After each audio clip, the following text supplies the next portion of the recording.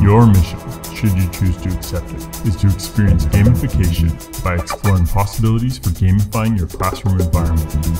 To begin, go to the URL on the screen. The clock is ticking.